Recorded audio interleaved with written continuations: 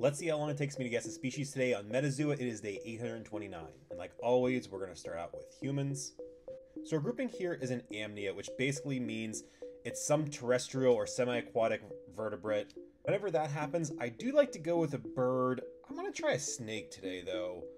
Let's go with just like a sea snake. So we do have a smaller grouping here. It's Sauria. That's good. Let's go with crocodile just to see where that puts us.